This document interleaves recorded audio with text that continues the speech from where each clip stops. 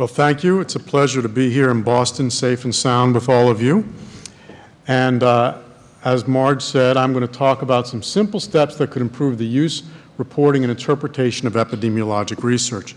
And one of the good things about going close to the end is that many of the points I've wanted, I want to make have already been made, so I will try to go through some of them quickly and just re-emphasize some of the things that others have said. This is my disclosure slide, um, and there's my email address. I'm not going to read this to you. If anybody wants my slides, just email me, and I will send you a copy of my slides.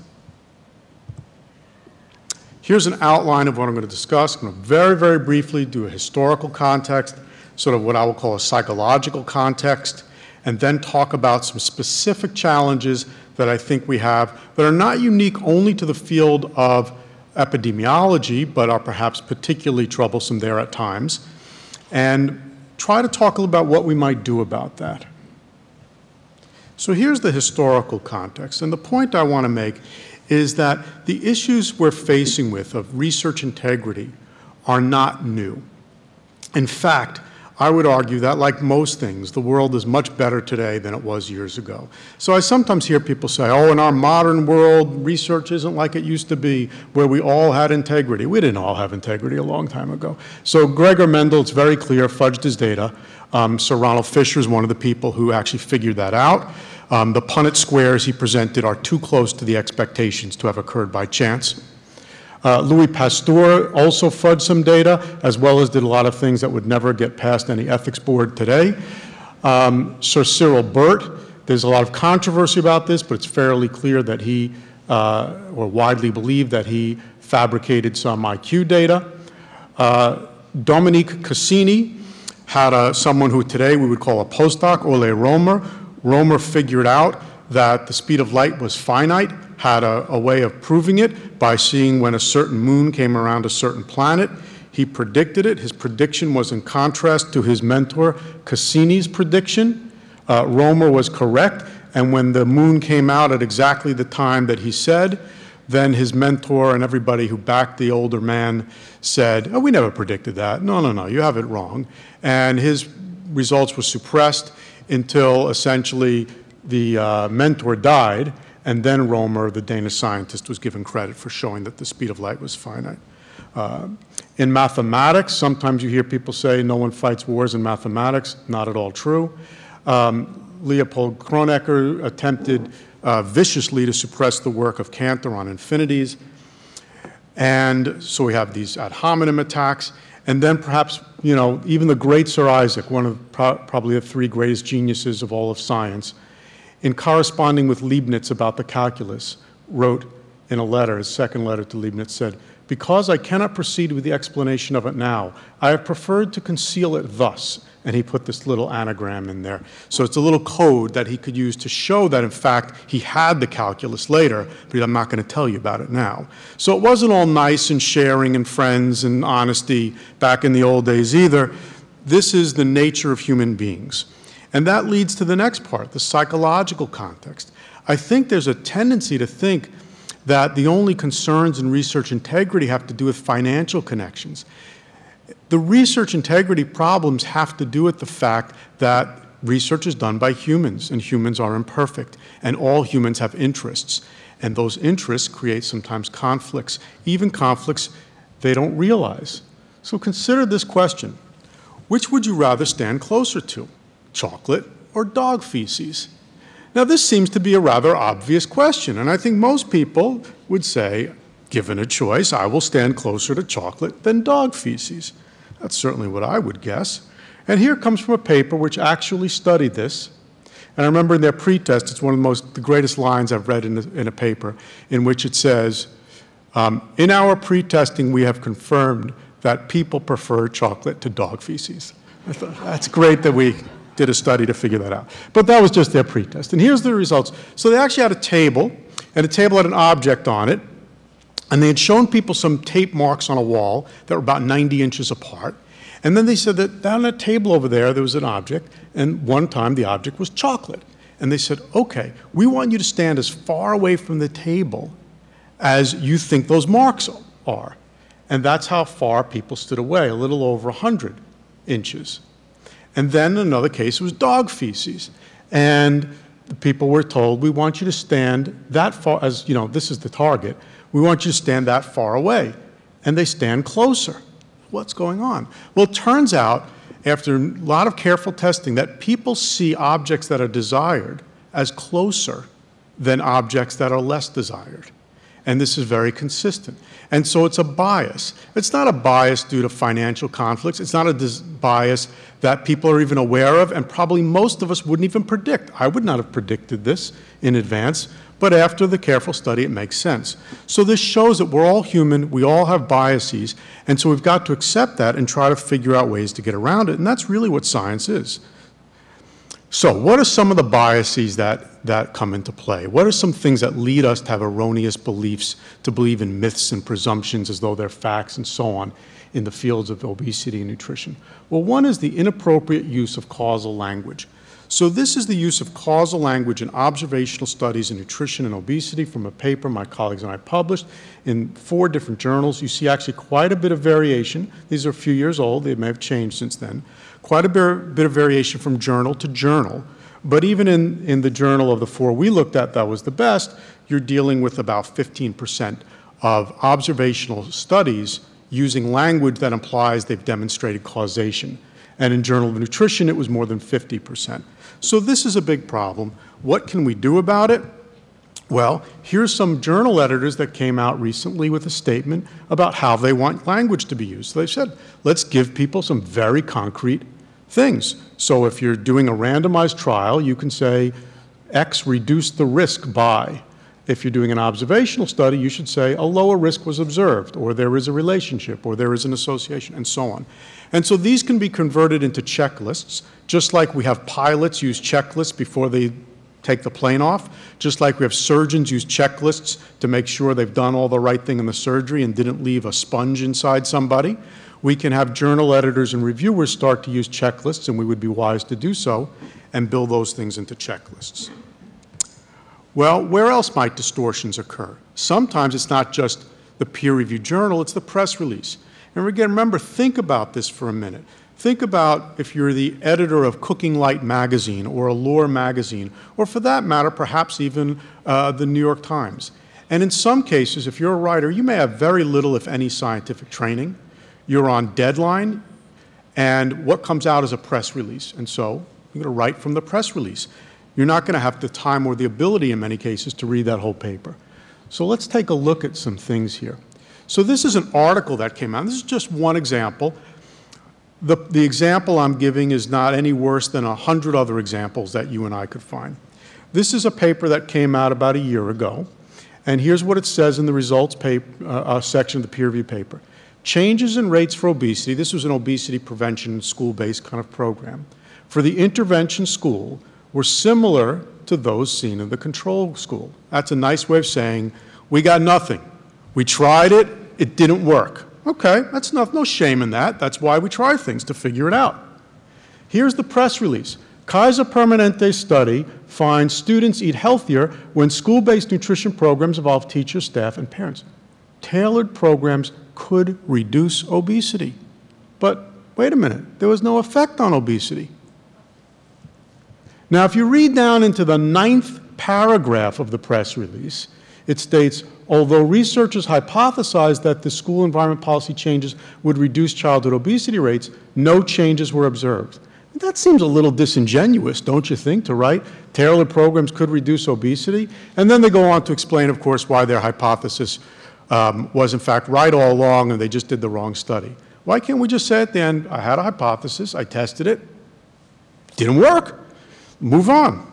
Anyway, so this is a big problem with distortion of press releases. You can see other examples and, and quantitative studies in these references.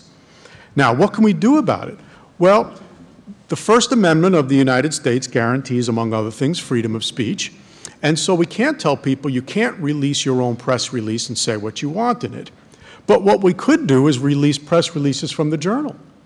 And the journal could say this press release has been peer reviewed. It wasn't prepared by the authors. It wasn't prepared by the author's institution. It was prepared by the journal. And it was sent out to the reviewers. and it could have a little seal on it that says this is a peer-reviewed press release. And now the journalists who have perhaps limited time and expertise can go through and say, is this press release peer-reviewed or not? And so I've noticed that many journalists have learned to ask, is this study peer-reviewed? They understand that. So if we give them their checklist, they can work with those too. And one checklist can be, are you using a peer-reviewed press release? And so that's something we may want to consider. Now, there's also a lot of analytic fiddling and bungling, and we've heard some examples of some of that. Um, I've bungled a lot of statistical analyses in my career, and I think it's very important to have a very high level of checking, and that's not easy. But let's also talk about some fiddling here. This is not example of bungling. So a lot of people did a good job of talking to you about p-values. P-values are random variables. When the null hypothesis is true, meaning there's nothing to find, then the distribution of p-values is what's called a uniform or rectangular distribution. If you simulated a bunch, as I did here, you'd get something that looks like a rectangle. Here's 0, here's 1, with a little bit of statistical noise. Now, in contrast, if there is something to find, meaning the null hypothesis is false, okay, what you get is this monotonic increasing, or really monotonic decreasing, I should say, curve here, that as you go from 0 to 1, it goes down. And that's, it has to be that way. That's a mathematical fact. It can't change directions, right? It's got to only go in this direction apart from random variability.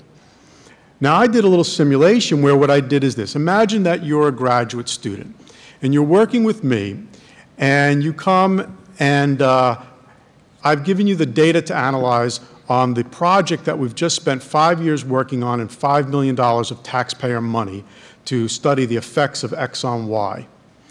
And we've finally been waiting and waiting. The results are in, the data are in. I say, go analyze the data, come back and tell me what you get. And you come back and you say, Professor Allison, the p-value is 0.056. 0.056? We spent five years and $5 million on this? 0.056? I think you should go back to your cubicle and check the data a little bit more. Maybe you overlooked something. Maybe it's not quite normally distributed, and perhaps you should consider a non-parametric test. Maybe some non-transformations might work. And what happens then is the student goes and keeps hitting it with different statistical analyses until he gets something that crosses the border of the 05. And if you get that, what happens is you get that little dip. That's the simulation. So I had some students actually take 347 abstracts from PubMed on randomized controlled trials of obesity, and I said, go and write down the first p-value in the abstract. I don't know if that was really the right way to do it or not. I couldn't figure out how to get the right p-value, so I said, just write down the first p-value. And then I took them and I compiled them.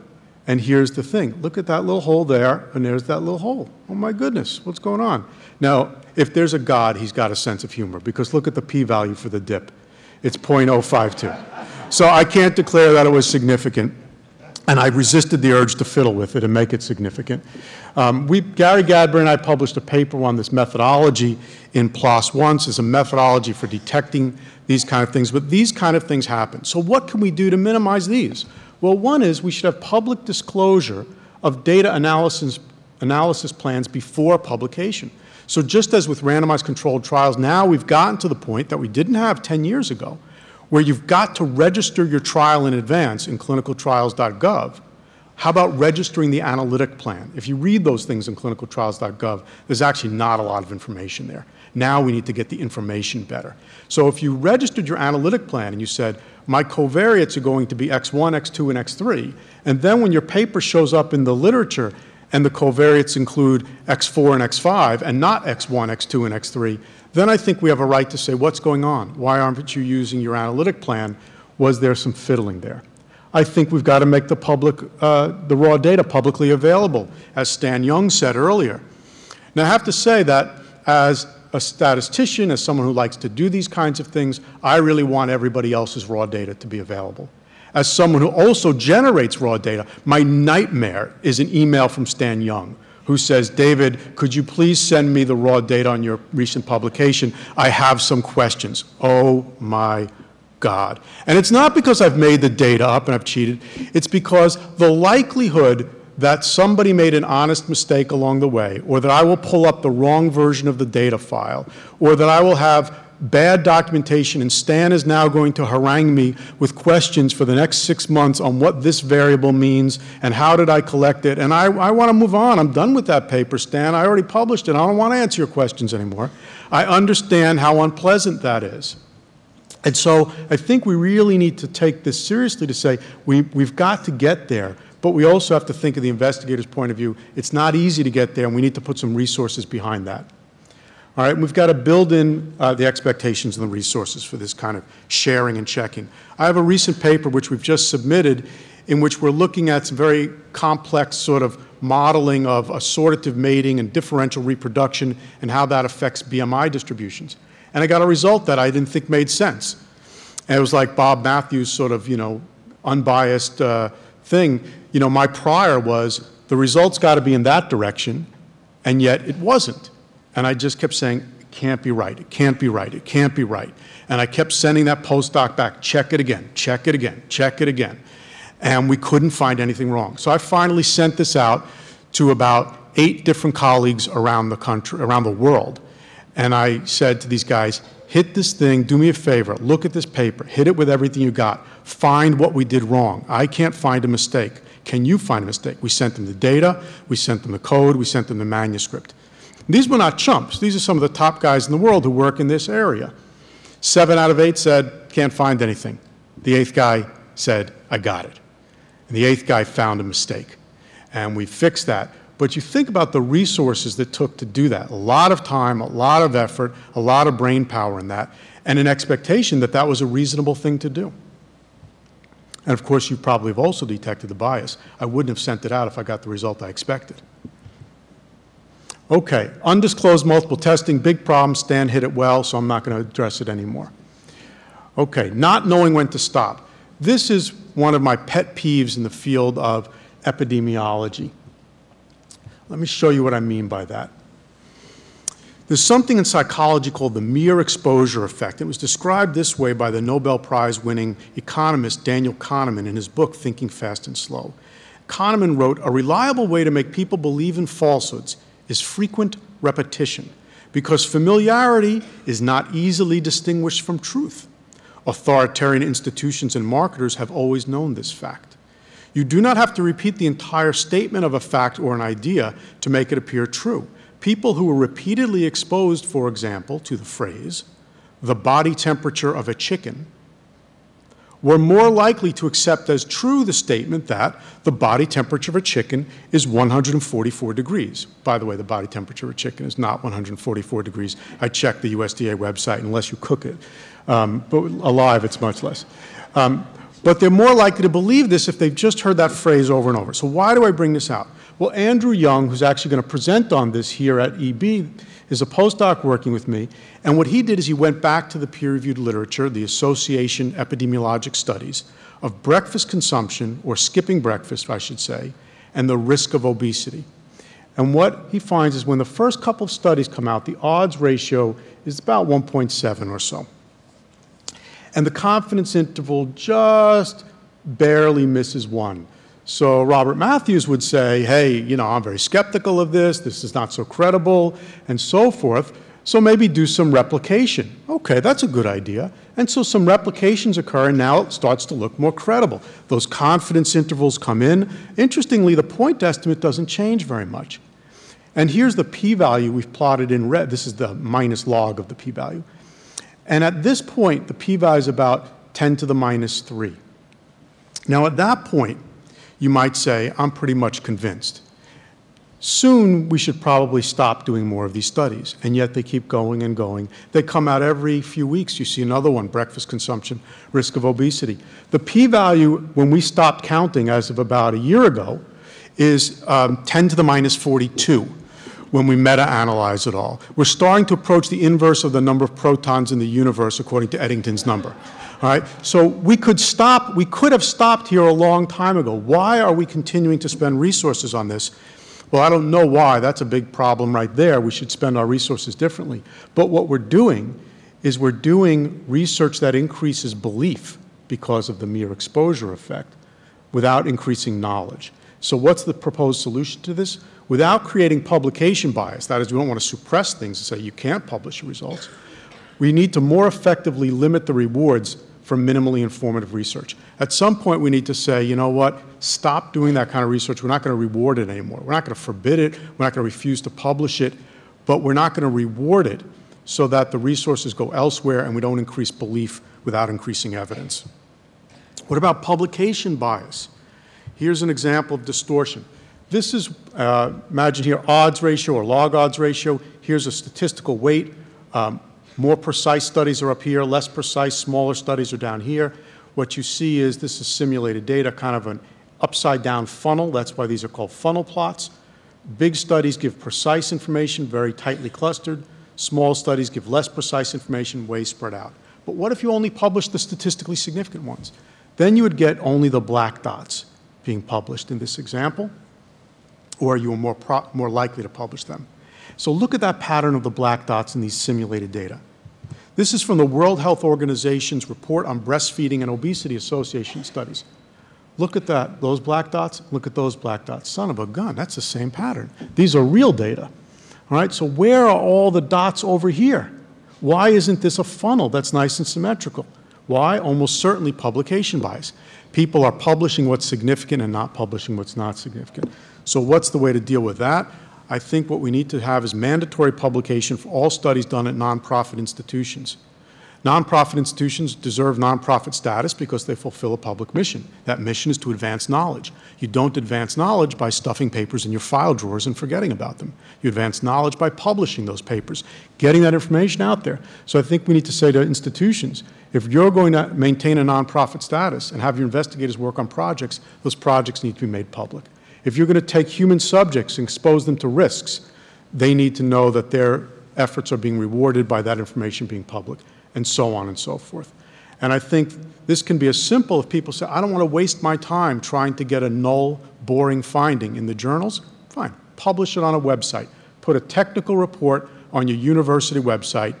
We're long past the days of everything having to be in print. Anybody can put up a technical report on their website for essentially zero cost but the information has to get out there. Reporting bias. This doesn't mean that the results here are wrong, but that what we choose to report and how we choose to report it can lead to biases. Here's an example from a paper. The paper was published in American Journal of Clinical Nutrition, but very nicely we have the clinicaltrials.gov now. So you can go back for that randomized trial and say, what was it, how was it portrayed when they first entered it? In clinicaltrials.gov, the title of the trial is effect of carbonated soft drinks on the body weight. And the primary outcome measure listed first is body weight, is listed by the authors. But here's the paper coming out in AJCN. The title of the paper now is Sucrose Sweetened Beverages Increase Fat Storage in the Liver, Muscle, and Visceral Fat Depot, a six month randomized intervention study. Well, the CONSORT guidelines tell us that we're supposed to put the primary endpoint in the title of the paper when we publish. And AJCN is supposed to adhere to those guidelines, but something fell through the cracks here. Now, this result isn't wrong, but it gives a very different picture than you might have gotten if you had read this paper and it said, sucrose sweetened beverages have no effect on weight or total body fat. And in secondary analyses, we found blah, blah, blah. All right? Gives a very different uh, review. Here they say in their methods, our main aim was to test the hypothesis that sucrose sweetened beverage increase ectopic fat. That's their main aim, right? That's their words. But here it says the primary outcome was body weight. In the results, they show that there was no significant uh, changes in body weight or fat mass. You've got to go all the way to the results section to find it. That's reporting bias. And what we need to do is empower the journals with resources to go back to be able to maintain these standards of conduct we need to be able to instill in people a sense that there are standards of conduct. conduct. Then we need to uh, have study registries include the analytic plan, and we need to provide the journals with resources for checking. Measurement error. Kevin Dodd and Dr. Tucker did a great job on this. I'm not going to belabor it. Measurement error is a big problem, especially when we talk about dietary, uh, excuse me, about energy intake. Here's from a letter in which we pointed out some some uh, claims that an author made based on self-reported energy intake as, early, as late as 2011, or excuse me, 2012. that we think just are totally implausible. What are we going to do about this? I think Professor Dodd and Tucker were actually very generous and easygoing. Uh, I was going to propose a 12-step uh, approach to help uh, nutrition epidemiologists, but that would require that you be able to count to 12. So I thought we'd just go with a three-step program. The first step is you got to admit you have a problem. So a lot of the people in the field of nutrition epidemiology don't want to admit how bad it is. It's bad. All right, and I think we saw some examples of that. And it's especially bad when we talk about energy intake, where we know it's not just random error, but there's systematic and large biases. Second is get help. Um, and actually, it's from the same website Kevin Dodd pointed out. Uh, here's Ray Carroll's talk, a particularly nice one. And the third is just say no. So sometimes you hear the argument, well, self-report is the best way we have of measuring energy intake and other things, other aspects of diet in large populations. We don't have a better way. And I said, well, that's okay. That doesn't mean this way is good enough. Maybe we're just not ready to study this. Maybe we need to take back all that money that we're giving to people to do all these self-report dietary intakes and say, take that money and give it to some physicists, no conflict of interest, I'm not a physicist, and say, take the, let those physicists and engineers and so on go and develop a method that really works to actually measure food intake in people. All right, in the interest of time, I'm going to skip this It's just to say people often incorrectly cite papers as showing, saying they show what they don't in fact show. Um, we need to give journals the resources to do better checking on this. All right, so in conclusion, what can we do that will plausibly help and actually accords with our discipline of science? We've put too much emphasis on trying to find the pure souls. Somehow that disclosure will allow us to figure out who's naughty and who's nice. And then we will, in fact, say these are the people we trust and these are the people we don't trust. The American Statistical Association has a nice little saying I like In God we trust, all others bring data. It's the data that matter. Okay? And so, as scientists, we can't be looking for pure souls. What I think we need to do is try in training to emphasize that science is a discipline and a vocation, not just a job. It's a special calling in which you have an obligation to truthfulness above all else. Then we need to develop a set of meta methods, these kinds of checking, registries, pre-documentation of data analysis plan, public depositing of data, public depositing of protocols, and so on, which collectively will buttress and ensure the implementation of the fundamental scientific methods that already exist. But we have to recognize that doing so is not cheap and it's not easy. And we need to bite the financial bullet and put resources in place to implement those meta methods. And in the words of Jean-Jacques Rousseau, let us take this path through the woods. Thank you.